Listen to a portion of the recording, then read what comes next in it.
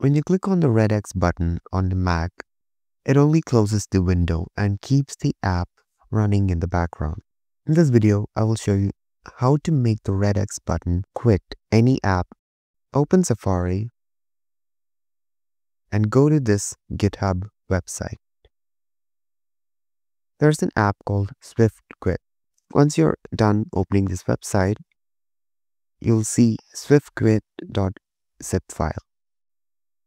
Click on that file and it will automatically download that app. Now click on Finder and click on Downloads.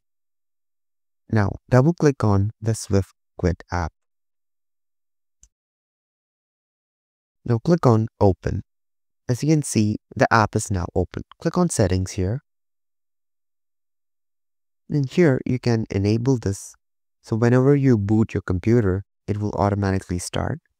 And you can also disable the icon if you want. Here you can add the exception. If you don't want any of the app to quit, when you click on the red X button, you can choose the app and add it to the exception list. I'm not going to add any app for now. Let's see if this is working now. I'm going to open Safari and hit the red X.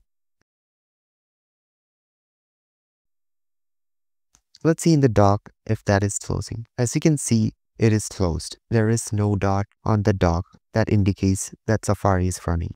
Now let me open Spotify. Now there's a dot below Spotify. I'll close this and within few seconds you can see it is no longer active. Let's monitor that using the activity monitor. I'll open the App Store. Let's find where the App Store is here.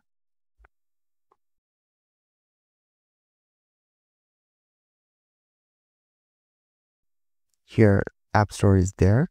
Now let me close the App Store Let's see if it is automatically quitting. As you can see, after a few seconds, that process is no longer available in the activity monitor. Thank you so much for watching this video. For more such tutorials, click on subscribe button and I'll catch you guys in the next one.